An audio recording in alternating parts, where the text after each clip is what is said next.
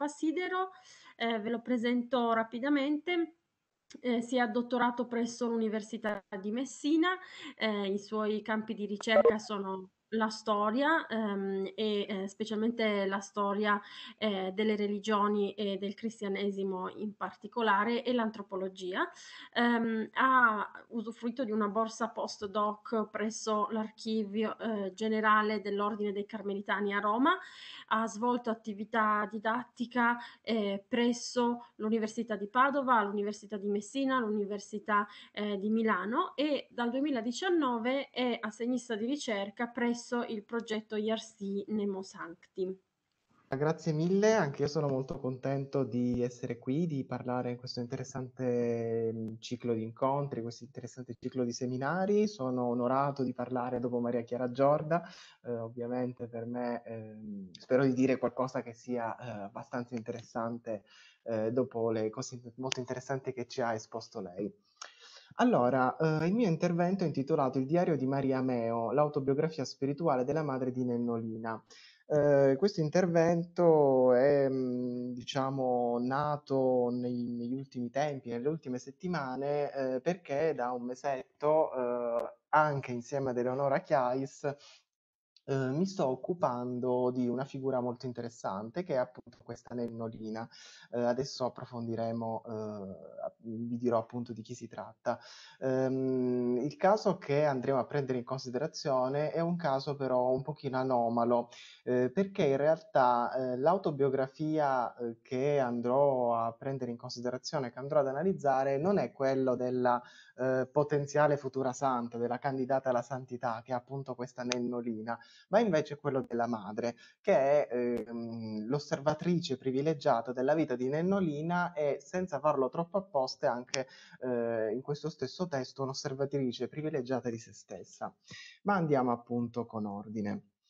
Uh, partiamo dalla, uh, dal, dalla, figura che più spesso attira l'attenzione, ehm, che non è appunto Maria Meo, l'autrice del diario, ma è sua figlia. Antonietta Meo, eh, detta Nennolina, nasce il 15 dicembre del 1930 a Roma e muore il 3 luglio del 1937. Eh, si tratta di una bambina eh, che oggi desta particolare interesse perché la sua vicenda biografica, molto breve, eh, sei anni e mezzo sostanzialmente, eh, è una vicenda biografica al contempo molto particolare.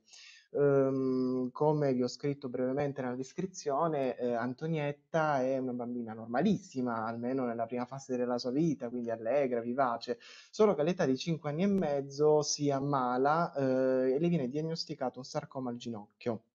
sarcoma che richiede eh, l'amputazione della gamba sinistra. Ehm, dopo questa amputazione, dopo questo momento molto, molto forte e molto duro, eh, ritorna brevemente per poco tempo alla sua vita di sempre, eh, anche se eh, ovviamente senza una gamba e con un tutore ehm, ad hoc, eh, ma dopo un breve periodo la malattia si ripresenta di nuovo, questa volta in un'altra parte del corpo, devono farle un'altra operazione molto pesante molto dolorosa, eh, dopo la quale però non eh, riuscirà comunque a, a guarire e eh, a pochi giorni dalla seconda operazione morirà. Um, la figura di Antonietta ha, um, ha, avuto grande interesse, ha attirato su di sé grande interesse eh, per un motivo tra i tanti, diciamo uno in particolare, perché eh, questa bambina mh, mm, visse nei suoi pochi anni, sei e mezzo, eh, una, un'esperienza spirituale molto intensa e molto forte. Eh, in particolare mh, mm, si parla, i vari, ehm, i vari testimoni che intervengono al processo di beatificazione che è attualmente in corso, anche se ehm, diciamo momentaneamente mh, non procede, ecco. Ehm, la bambina attualmente è venerabile, cioè ha superato quel primo step per arrivare poi alla beatificazione, che consiste nel riconoscimento da parte, della, da parte dei teologi, quindi della Chiesa Cattolica, delle sue virtù. Cioè si riconosce che questa bambina nei suoi sei anni, sei anni e mezzo ha vissuto in maniera eroica appunto eh, le virtù eh, cristiane. Ehm, ciò che colpisce dell'esperienza di questa bambina è appunto quell'appellativo che io ho messo tra virgolette che trovate nel titolo della slide, cioè una santa bambina. La tradizione cristiana, la tradizione cattolica è, caratterizzata da una serie di figure fin dall'antichità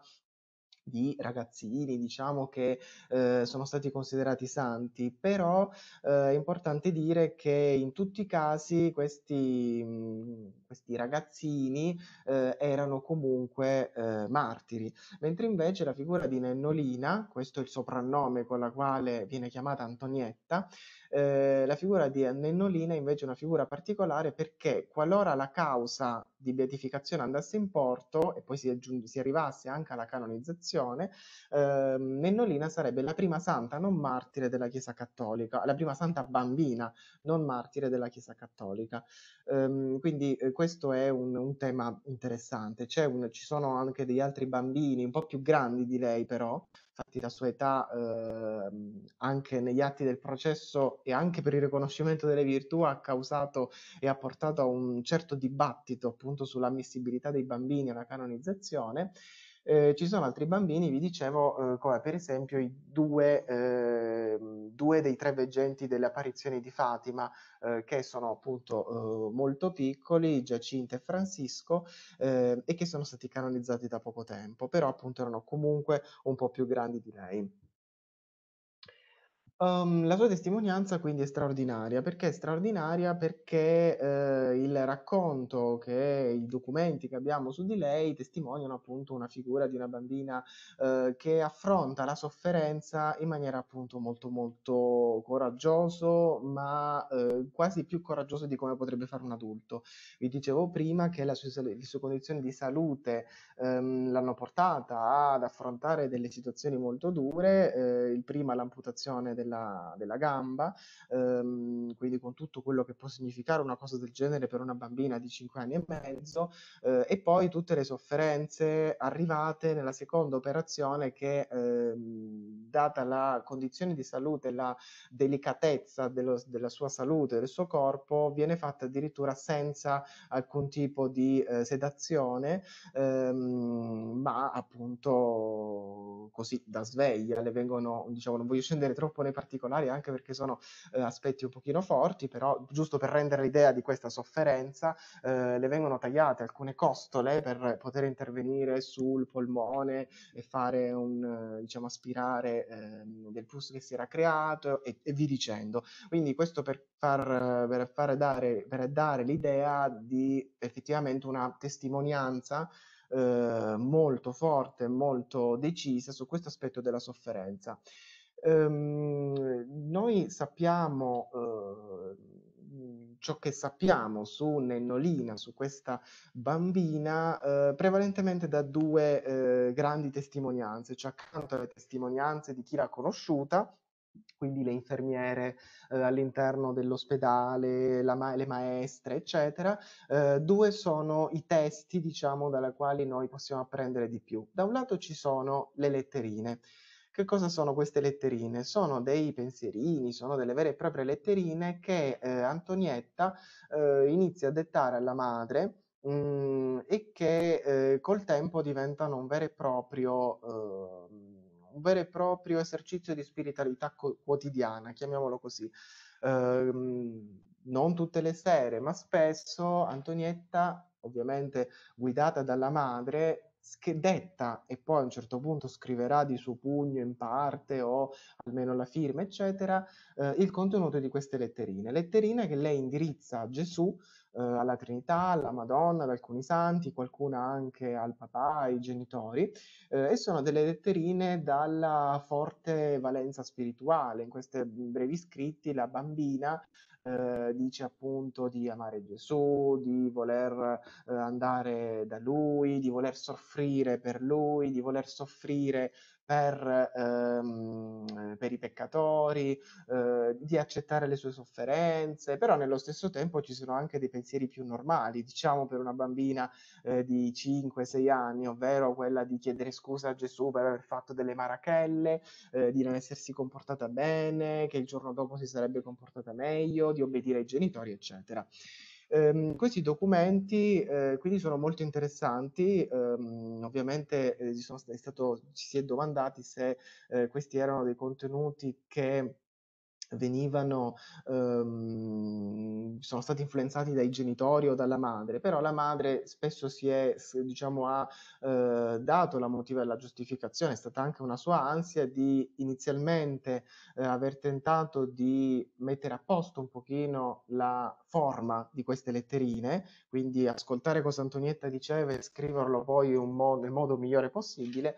ehm, oppure, eh, ma che successivamente appunto per lo scrupolo di non cambiare neanche una parola, questi pensierini che man mano alla stessa madre sembravano appunto dei pensierini molto profondi e che quindi meritavano qualche tipo di attenzione, lo scrupolo di non cambiare assolutamente nulla e scrivere così com'era anche se c'era qualche imperfezione o eh, espressione non, non corretta. E, ehm, quindi, mhmm, per concludere questa brevissima introduzione sulla figura di Nennolina, per poi passare all'oggetto, ehm, alla figura che mi interessa, quindi diciamo che, ehm, la causa di canonizzazione della bambina nasce per interessamento dell'azione cattolica, prima di tutto. Perché l'interessamento dell'azione cattolica? Perché, come vedremo, la sua famiglia, ci troviamo negli anni 30 del Novecento, la sua famiglia a Roma è completamente immersa in questo contesto. La madre svolge, ehm, una funzione di primo piano all'interno dell'Azione Cattolica come presidente delle, eh, delle fanciulle dell'Azione Cattolica presso la sua eh, parrocchia, che è quella della Basilica di Santa Croce in Gerusalemme a Roma, ehm, che è appunto una basilica, per chi non la conoscesse, che mh, non troppo lontano da San Giovanni il Laterano, giusto per dare un punto di riferimento noto a tutti eh, e che ehm, e, e, quindi è il contesto alla quale la stessa Nennolina, la stessa Antonietta viene avviata. Lei entrerà appunto tra eh, le eh, piccolissime e poi le giovani, diciamo le giovanissime e poi le beniamine dell'azione cattolica che erano praticamente delle sezioni lega- rivolte alle bambine molto piccole, poi alle bambine più grandi e via dicendo, quindi varie parti di varie sezioni, diciamo così, di educazione cattolica, di educazione, di eh, vissuto cattolico all'interno appunto eh, di una società che, ricordiamolo, lo sottolineo, siamo appunto tre, negli anni 30 del Novecento, quindi eh, l'azione cattolica in questo contesto si, mh, mm, eh, si, mh, si, propone in un certo qual modo anche come contraltare all'educazione fascista eh, che eh, appunto il fascismo andava costruendo a partire dai più giovani. Quindi l'azione cattolica cattolica che avrà mh, punti anche di, di, scontro molto diretto ehm, con, con, Mussolini e con il fascismo. In ogni caso, appunto, è questo contesto nel quale si cercherà di ehm, avviare una formazione, in un certo qual modo forse potremmo dire anche speculare a quella fascista. Comunque, vi dicevo appunto il decreto delle virtù del 2007, ma si rimane ancora in attesa del, del riconoscimento da parte della Commissione Medica di un miracolo che ehm, per l'ottenimento della beatificazione e poi un altro miracolo per l'ottenimento della canonizzazione. Ma chiudiamo la parentesi su Nennolina e eh, facciamo un passo indietro, comunque ingrandiamo diciamo, nostro, eh, il nostro obiettivo. Ehm, il nostro obiettivo ehm, non è puntato su Nennolina, che invece è l'oggetto di interesse un po' di tutti, eh, coloro che si avvicinano a queste figure, ma eh, alla madre. La madre, che è quella che è raffigurata al centro, si chiama Maria Meo. Eh, le altre due persone raffigurate chi sono? Accanto a lei ovviamente c'è, eh, come potete immaginare, il marito Michele e la ragazza ehm, che, le, che, sta alla sua eh, sinistra è invece la figlia Margherita. Chi è Maria Meo? Maria Meo la chiamiamo così, ma in realtà dovremmo dire Maria Ravaglioli in Meo o Maria Ravaglioli Meo perché Meo è il cognome del marito. Eh, quindi Maria Ravaglioli eh, nasce il 24 ottobre del 1891 e morirà il 12 novembre del 1961. Ehm, si sposa con eh, il marito Michele, che ehm, allora è una famiglia che potremmo definire quantomeno borghese. Eh, il marito infatti aveva un, eh, un impiego all'interno del del ministero, eh, quindi erano delle figure, diciamo, una famiglia eh, diciamo abbastanza agiata, dobbiamo dire così, anche perché eh, per esempio Antonietta Nennolina vivrà tutta la sua vita in compagnia prima di una, poi in particolare di un'altra donna di servizio, quindi eh, questo per dare un pochino l'idea del contesto nella quale eh, vivono sia la madre che poi la figlia. Eh, soffermandoci sulla madre, Maria ebbe quattro figli, che sono Giovanni, Carmela, Antonietta e Margherita. In realtà, eh, purtroppo, come si deduce dalla foto che vi ho fatto vedere in precedenza, solo una di questi figli eh, diventerà grande, adulta, che è appunto Margherita, ehm, che eh, tra l'altro deporrà al processo eh, per la beatificazione della sorella Antonietta.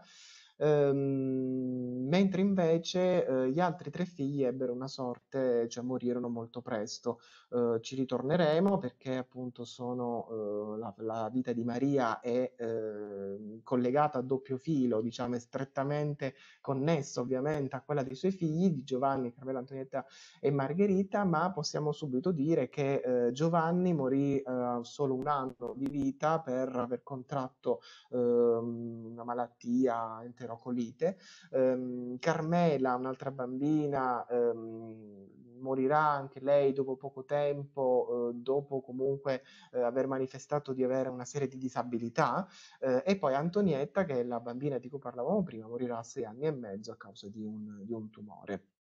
Eh, come abbiamo già detto, eh, fu molto attiva nell'azione cattolica, eh, sarà presidentessa delle conferenze femminili di San Vincenzo de Paoli, che è una realtà eh, culturale e soprattutto spirituale molto attiva in quegli anni in molti luoghi d'Italia, ehm, e poi eh, ovviamente presidentessa presso la Basilica di Santa Croce, che era la loro parrocchia Uh, perché era la parrocchia appunto del loro quartiere, e anche dirigente parrocchiale all'interno di Azione Cattolica.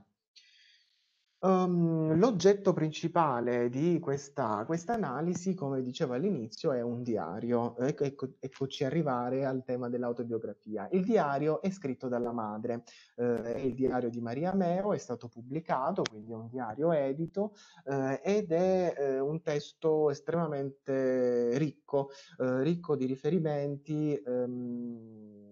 alla famiglia Meo, ovviamente ricchissimo di riferimenti ad Antonietta, e contiene anche dei riferimenti alla stessa Maria. Ma eh, vediamo un attimo prima di tutto che cos'è questo diario, cioè perché nasce un diario scritto da Maria Meo. Eh, Maria Meo scrive questo diario um, per, uh, lo vediamo qua, um, per obbedire al consiglio di un molto reverendo padre. Iniziamo oggi, 15 agosto 1941, io e mio marito, per quello che ricorda, scrivere in questo quaderno i ricordi relativi alla vita della nostra cara Antonietta, affinché si rimangano a nostro conforto e per la verità.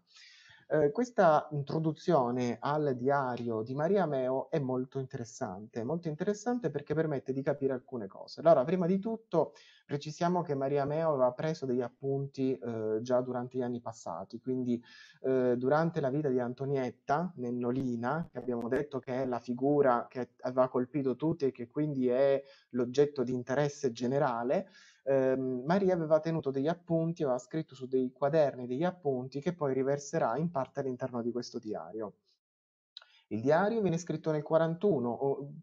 viene finito poi nel dicembre, quindi eh, in pochi mesi nel 41 viene mm, composto questo diario eh, che quindi viene scritto a distanza di quattro anni, eh, grosso modo dalla morte di Nennolina. L'obiettivo, come eh, è chiaro, è quello di inserire all'interno del diario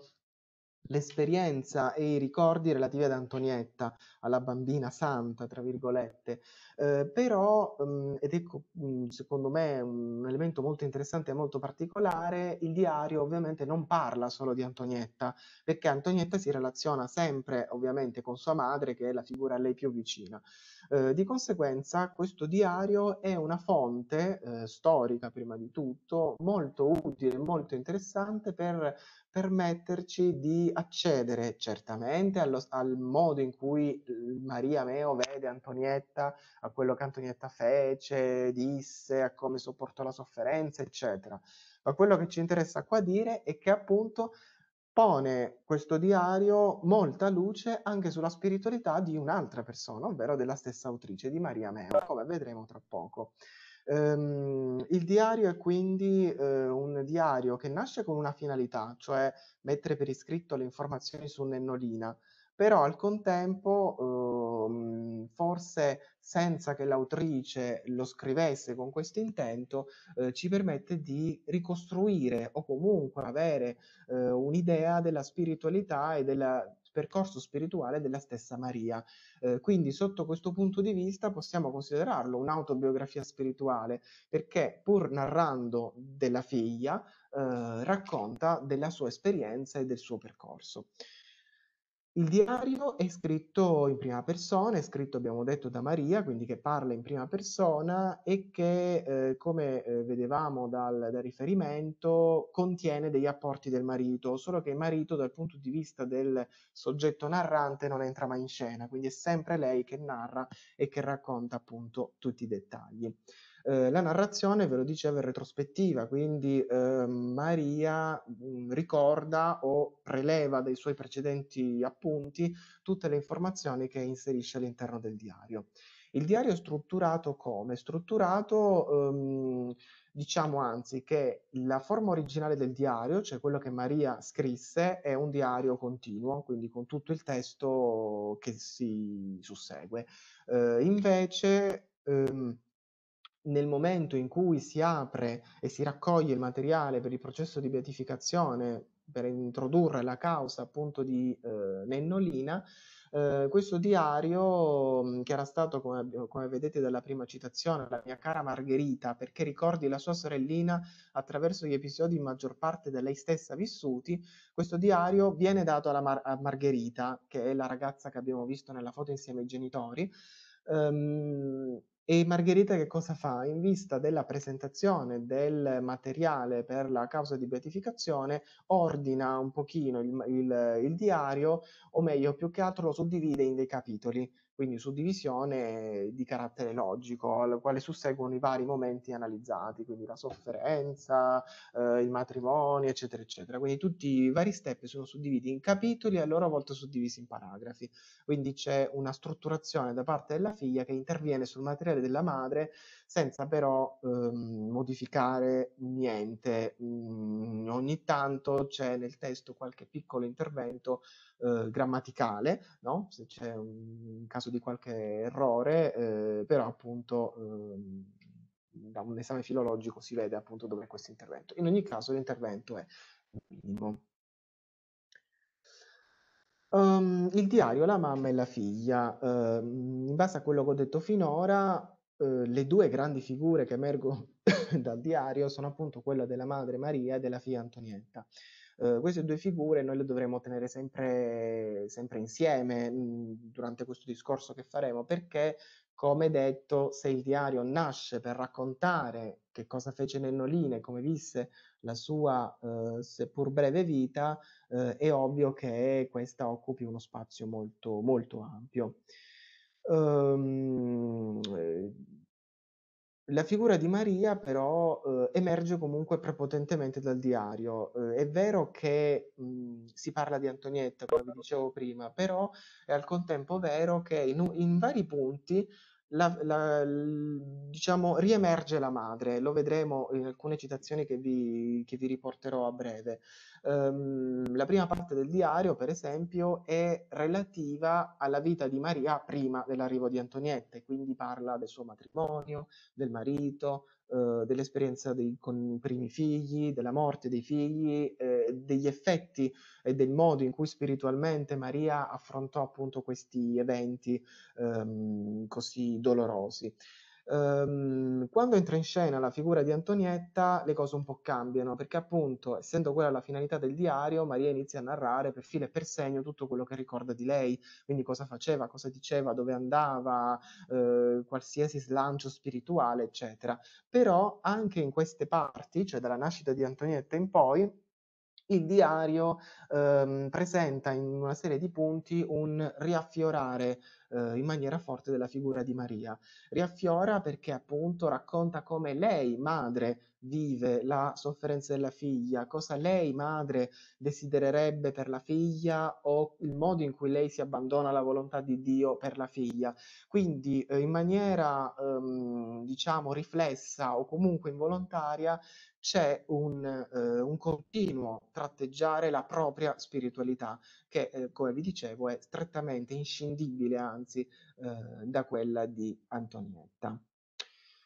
Um, tra l'altro, uh, un'altra piccola osservazione è che anche nei punti in cui uh, Antonietta occupa tutto lo spazio, diciamo così, uh, dal mio punto di vista, dalla lettura di questo diario, emerge che la madre non scompaia materialmente, perché um, la madre, che è una madre, come vedremo, così attenta nell'educazione dei figli, attenta nel fornirgli soprattutto un'educazione spirituale, quindi sarà la madre a mh, anticipare, come ha fatto anche con l'altra figlia, ehm, il periodo di, eh, di, catechismo, quindi sarà lei stessa che gli farà da catechista e infatti quando Antonietta andrà a scuola sarà già super preparata, sarà già molto avanti nella preparazione. Tra l'altro eh, Antonietta ehm, ricevette sostanzialmente a cinque anni e mezzo la comunione, perché appunto eh, anche perché era abbastanza avanti con, con la preparazione. Quindi eh, questo per dire che la madre, a mio avviso, non si eclisse, non scompare del tutto neanche quando lo spazio è occupato dalla figlia, che in un certo senso riflette l'educazione che ha ricevuto dalla madre, riflette l'attenzione che la madre ha voluto darle eh, e ha voluto, ehm, con la quale ha voluto appunto avviarla eh, sulla strada comunque della spiritualità in qualche modo. Ehm, quindi ci sono dei momenti in cui il diario si focalizza su Antonietta, è un po' quello che vi dicevo, e Maria parla solo di quest'ultima, in particolare quando ci sono fasi de- delicate della vita della bambina, quindi quando ci sono i ricoveri, malattie, ma anche la nascita, tutti in questi momenti c'è proprio un focus molto molto forte su Antonietta. Eh, in altri momenti la figura invece di Maria ha più spazio e l'autrice si sofferma sulla propria spiritualità. Si tratta, però questo è importante dirlo, a parte alcune eh, sezioni più ampie, di leggere tra le righe. Eh, leggere tra le righe significa che in ampi spazi in cui si parla di Antonietta c'è comunque un paragrafo, ci sono comunque delle righe in cui Maria eh, getta eh, luce sulla propria spiritualità. Uh, una delle figure um, che compaiono nel diario, ma che comunque non ha un grande spazio, perché ricordiamoci sempre che um, il protagonista del diario, apparentemente Antonietta, è il marito. Il marito, Michele Meo, abbiamo già detto qualcosa all'inizio, è una figura che nel diario rimane un pochino sullo sfondo, compare ogni tanto, eh, anche la sua sofferenza compare. Eh, è interessante notare come eh, Maria, nel suo percorso spirituale, abbia sempre questo forte slancio nella relazione con chi gli sta attorno, slancio spirituale, tanto che lei tenta di far progredire nella fede tutti coloro che gli capitano a tiro. E, um, uno di questi, eh, cioè la figura del marito, ovviamente è la figura principale di questa, eh, di questa progressione che Maria eh, tenta di attuare eh, e lo vediamo ad esempio da alcune citazioni che vi ho riportato qui nel diario. Eh, in questo caso, per esempio, Maria eh, parla che mh, racconta del fidanzamento, la grande guerra prolungò il periodo del nostro fidanzamento, che non dobbiamo poi ritenerlo tanto inutile se si pensa che all'inizio di esso mio marito non praticava la religione, mentre all'epoca del nostro matrimonio non mancava di assistere nei giorni di festa alla Santa Messa e nelle solennità frequentava i sacramenti. Quindi c'è mh, mhmm, nel diario una continua attenzione all'aspetto spirituale di eh, chi le sta intorno, a partire ovviamente dal, eh, dal marito. Um, un altro esempio è il momento di preghiera. Uh, vengono descritti alcuni momenti di preghiera molto forti in cui il focus della narrazione si sofferma proprio su Maria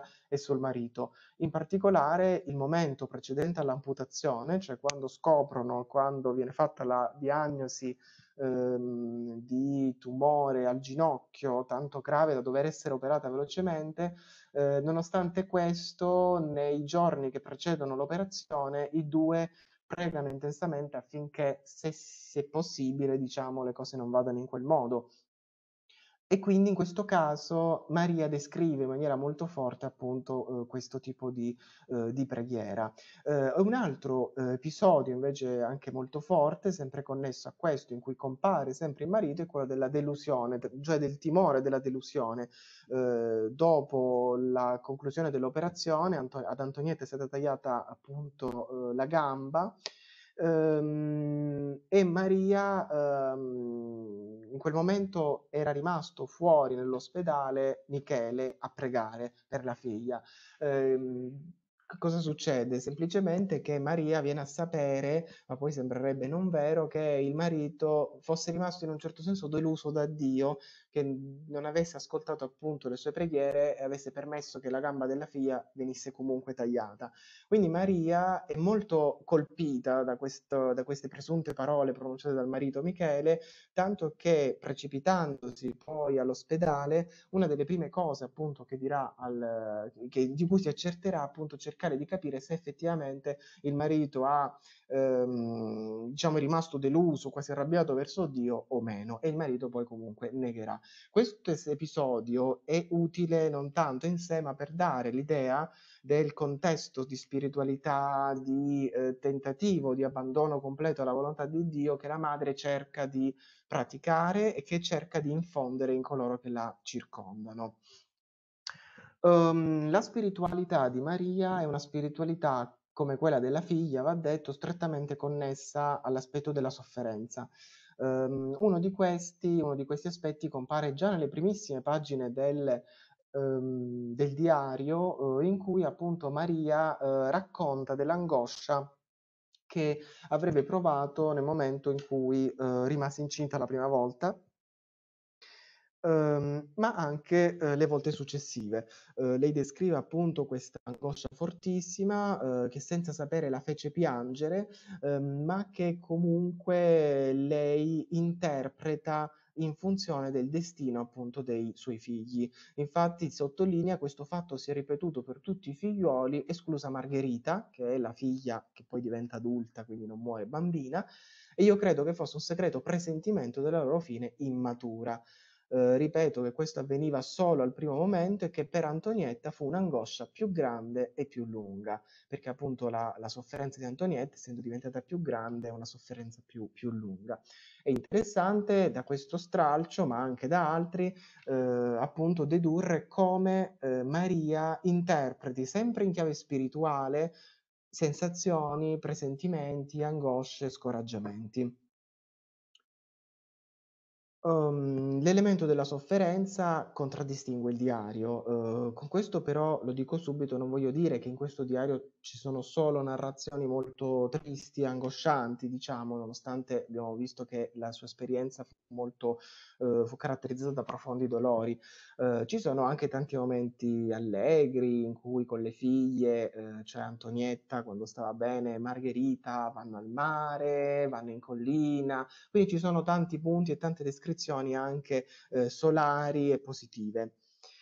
Um, dal punto di vista quindi della sofferenza, ma anche sempre dell'orizzonte spirituale che la madre in un certo qual modo proietta sui figli, è interessante questa piccola testimonianza, questo, questo stralcio sempre del diario. Um, il primo bimbo, Giovanni, si è ammalato, è agonizzante, sta per morire. Lei descrive, volli entrare, cioè nella stanza in cui era agonizzante, il mio piccolo agonizzava, in camera vi era rimasto solo mio marito, mi avvicinai e mentre lo chiamavo piccolo santo, era un nome nuovo che sorprese me stessa, mio marito si accostò a una finestra e scoppiò in un pianto. Uh, quel piccolo santo è un'espressione a mio avviso molto interessante, molto interessante nell'ottica, nel modo in cui appunto questa donna costruisce mh, e proietta in un certo senso anche sui propri figli un'aspirazione enorme. Um, in altri punti appunto si parla della sua aspirazione già quando il bambino, già quando era incinta forse, che il bambino fosse un santo, che il bambino fosse un missionario, fosse un sacerdote, um, quindi eh, questo è un elemento molto, molto forte.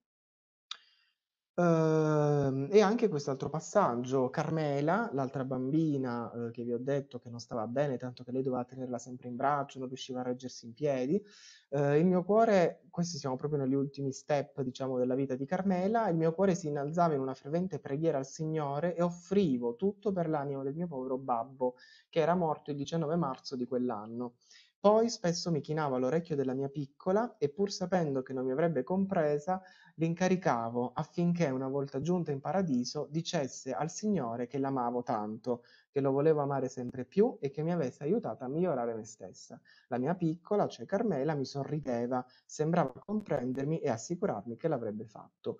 Quindi mh, mm, eh, leggere appunto gli stralci del diario, così come vedevamo precedentemente nell'intervento di Maria Chiara Giorda, secondo me è molto interessante eh, perché ci mette diretto contatto con le parole della, ehm, della persona che scrive. Eh, vedete come la sofferenza è veramente una delle principali marche che sono presenti all'interno, ehm, all'interno di questo diario, però eh, sempre nel tentativo, nello slancio, nonostante ci sia lo scoraggiamento, lo sconforto a volte di ehm, interpretare gli eventi e comunque dare un senso, dare un significato agli eventi pur tragici e, e della, della vita che ebbe.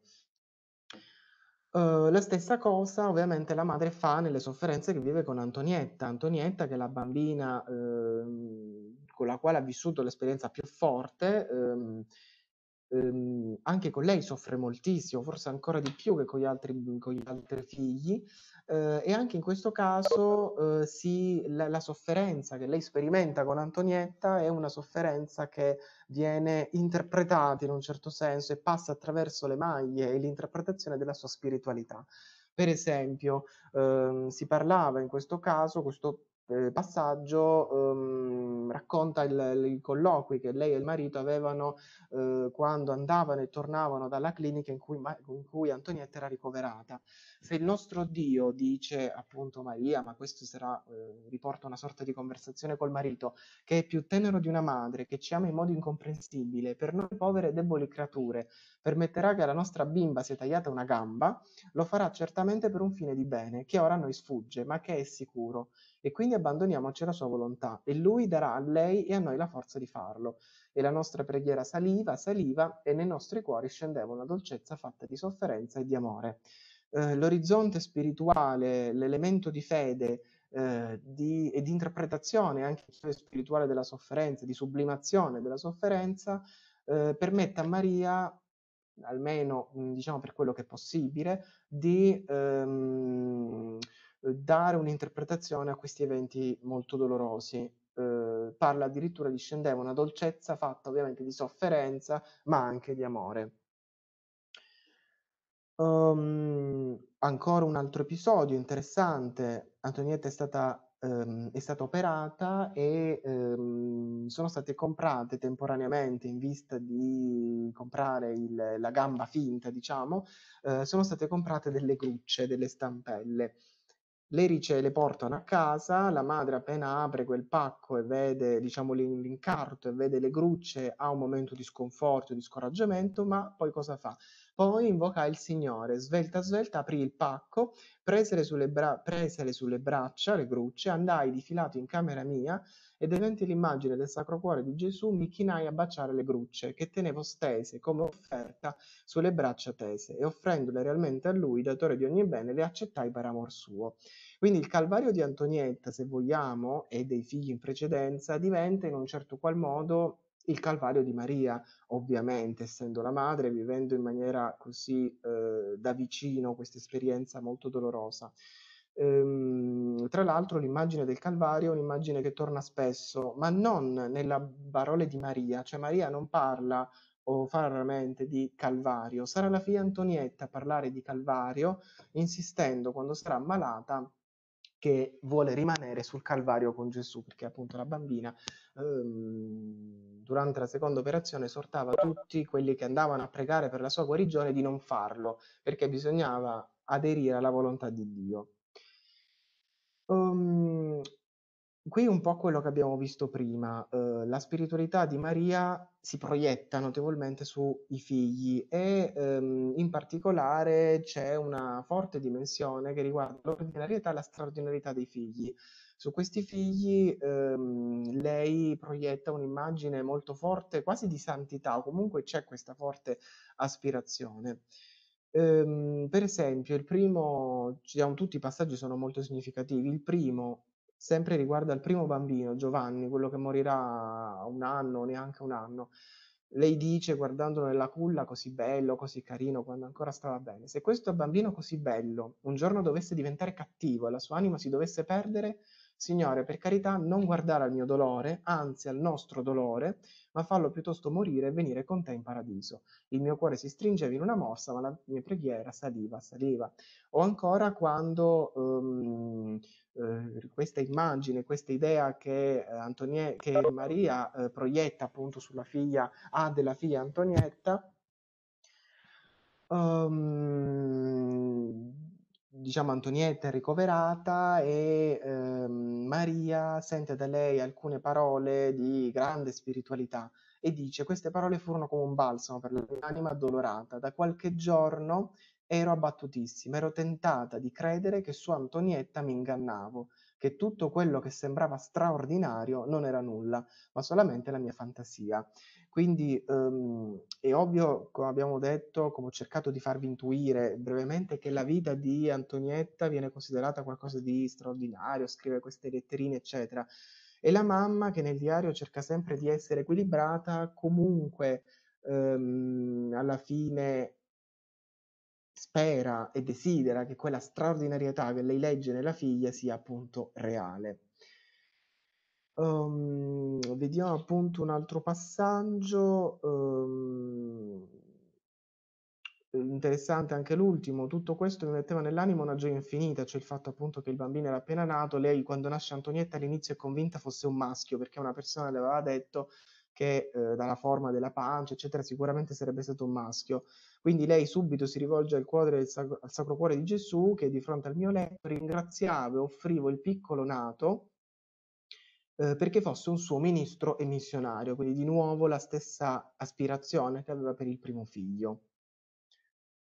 Allora vado avanti perché il tempo, diciamo, non è tantissimo.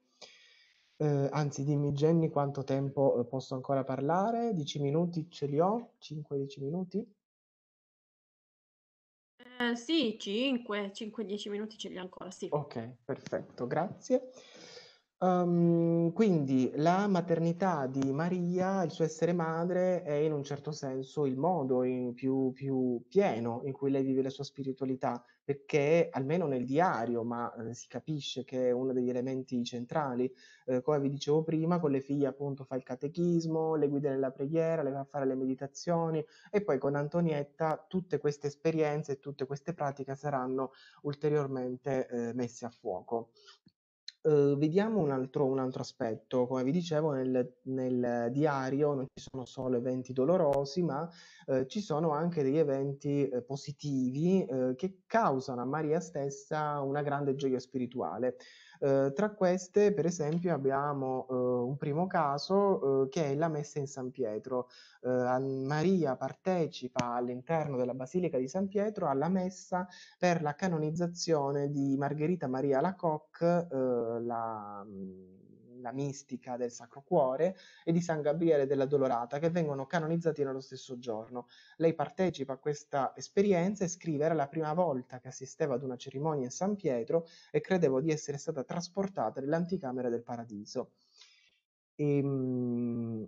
poi ancora la narrazione del Giubileo della Redenzione del 1933, eh, mentre però nel primo caso, cioè nella, nella, ehm, nella messa in San Pietro, eh, Maria, diciamo la messa in San Pietro è una messa che avviene prima della nascita di Antonietta, quindi in un certo senso sembra quasi anche nella narrazione che le gioie di Maria siano libere di fluire completamente, ehm, nel Giubileo della Redenzione Antonietta è già nata, infatti quell'esperienza e quel racconto viene eh, fatta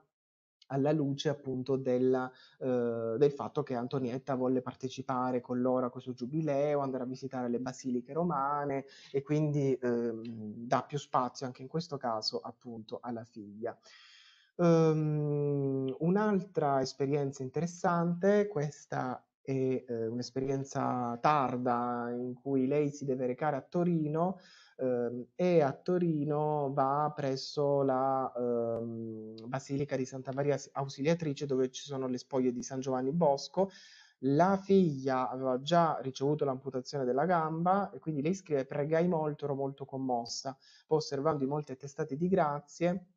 mi trovai a dire un po' agramente, ma San Giovanni, tu volevi bene solo ai maschi, altrimenti avrei ottenuto le grazie per la mia Antonietta. Quindi qua rimbrotta e rimprovera un pochino San, Giovanni, ma poi eh, se ne scusa, se ne scusa sempre nel diario, quindi c'è un certo timore, diciamo così, anche eh, in questo tipo di parole. E poi l'azione cattolica. L'azione cattolica è forse l'esperienza di, mh, all'interno di questa realtà è forse una delle più importanti, non solo perché introduce presto la figlia, ricordiamoci che Maria portava la bambina eh, fin da prim- prima della prima comunione a messa, a visitare le basiliche, a fare le orazioni, quindi a tutte le pratiche alle quali poteva portare, alle quali andava anche lei. Quindi mh, quello è il liquido, diciamo, nella quale Maria è immersa tra l'altro erano anche terziari francescani.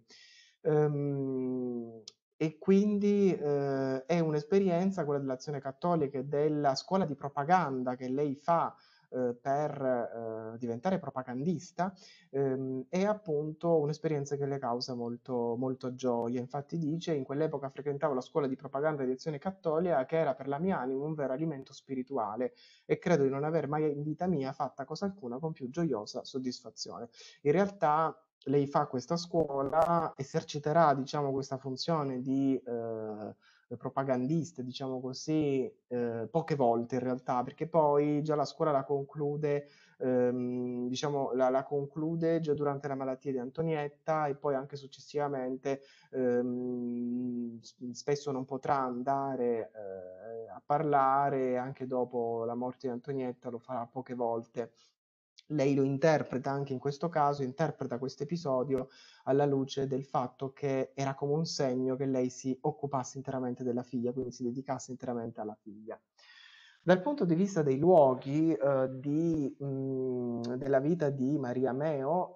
eh, ci sono appunto tanti luoghi, però ce ne sono alcuni che segnano in particolare l'andamento del diario. Uno di questi, per, per mh, questione di tempo ne ho riportato solo uno, però uno dei più rappresentativi è la Scala Santa. Sempre tornando alla geografia di Roma, eh, per chi non lo sapesse, quasi di fronte, diciamo così, dall'altro lato della strada di, della Basilica di San Giovanni Laterano si trova il santuario della Scala Santa, eh, che è un santuario che accoglie dentro questa scala che vedete nell'immagine, che secondo la tradizione sarebbe stata portata insieme ad altre reliquie da Elena, la madre di Costantino, eh, da, dalla Terra Santa e sarebbe appunto la scalinata del palazzo al pretorio di Pilato, quindi sarebbe stata ehm, percorsa da Gesù nella sarebbe stata percorsa da Gesù. Eh, I pellegrini vanno lì e percorrono in ginocchio questa scala chiedendo delle grazie, pregando, eccetera. Ehm, ci sono vari punti del diario in cui Maria quindi racconta del fatto che si recava verso la Scala Santa, eh, per esempio nel periodo della sofferenza di Carmela, che è la bambina di cui vi dicevo prima, morta anche lei, anche prematuramente, frequentavo la comunione quotidiana. Il mattino mi recavo alla Scala Santa e ritornavo corroborata per le fatiche fisiche, ma più che altro morali che l'infelicità della mia piccola mi procuravano. Quindi eh, la spiritualità rimane comunque durante tutto il percorso, almeno del diario, diciamo, eh, almeno per quello che emerge dal diario, un ingrediente indispensabile, un'arma indispensabile attraverso la quale questa donna affronta i dolori fortissimi che la sua esperienza, eh, la sua vita gli mette, ehm, gli mette davanti. Questo è il santuario della Scala Santa per come si vede esternamente, tra l'altro, come detto, non è lontano da eh, da casa di Maria Meo. Eh, una mattina, prima di recarmi in clinica ad assistere la mia piccola, salivo la scala santa in ginocchio, quando un tratto fra le lacrime esclamai Ma signore, perché mi hai fatto fare la scuola di propaganda se poi non potrò fare la propagandista? Qualche cosa risposi in me nettamente per prepararti a quest'ora, cioè quella della fortissima sofferenza della, della figlia. Forse era la mia fantasia, ma ne rimasi colpita e confortata. Questo ehm, ci riporta sempre a mh, mhmm, quei tasselli che vengono messi insieme, quell'indicazione attraverso la quale costantemente Maria interpreta ciò che le accade anche appunto quell'episodio. Forse un po' lo facciamo tutti, però in questo caso c'è una chiave di lettura molto forte e molto marcata. Um, avviandomi a concludere, diciamo solo altre due cose, anzi un'ultima cosa prima delle conclusioni, che è interessante vedere in soldoni come Maria tratteggia se stessa all'interno di questo diario, perché è vero che Antonietta occupa tanto spazio, ma mh, c'è lo spazio perché Maria ha fiori. Uh, Maria descrive se stessa e propone se stessa come una, sfor- come una, donna che si sforza di essere santa, tra virgolette, cioè di essere eh, buona, di aderire alla volontà di Dio, eccetera si sta, sta molto molto a cuore di essere una madre buona, attenta e devota e soprattutto di essere una madre che dà ai figli gli strumenti spirituali di cui ha bisogno. Eh, è una donna che sembra anelare al paradiso, quindi sembra avere quello come punto di riferimento e come obiettivo finale e eh, comunque tutta questa esperienza di sofferenza ehm, la spinge ulteriormente eh, probabilmente in quella, diver- in quella, direzione. Non si vergogna comunque anche nella scrittura del diario di mh, scrivere delle cose che apparentemente potrebbero non sembrare adatte, quindi momenti di scoraggiamento, momenti di sconforto, ehm, cattivi pensieri, per esempio quando la gamba di Antonietta viene amputata per un attimo lei pensa e lo scrive, forse era meglio che moriva, così avremmo, ehm, avremmo risparmiato tante sofferenze e soprattutto una cosa cui, mh, da cui lei era molto spaventata, che crescendo senza una gamba sarebbe stato un dramma sia per la bambina e sia poi per la società, per il fatto che magari non si sarebbe riuscita a sposare, eccetera. E anche per Carmela, l'altra bambina, quando Carmela muore, eh, Maria, diciamo, dice ha smesso di soffrire, quindi manifesta una certa, eh, una certa, mm, un certo, diciamo, conforto.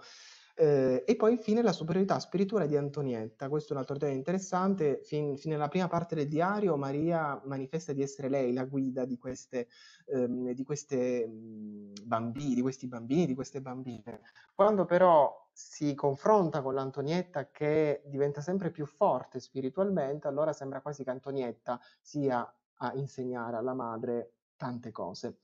Concludendo quindi da questo diario emergono alcuni punti interessanti. Sicuramente il valore di questo diario come autobiografia spirituale, senza che Maria Meo probabilmente ci abbia fatto attenzione a questo, il suo obiettivo era parlare di Antonietta, però alla fine si ritrova a parlare molto anche di se stessa e del suo percorso. Eh, ruolo centrale della sofferenza e l'offerta a Gesù. Questo è un elemento cardine, eh, ovvio perché la vita l'ha messa di fronte a dei dolori ben precisi, però al contempo ehm, abbiamo anche il tentativo appunto di sublimare questa sofferenza e di dargli un significato più alto. Ehm,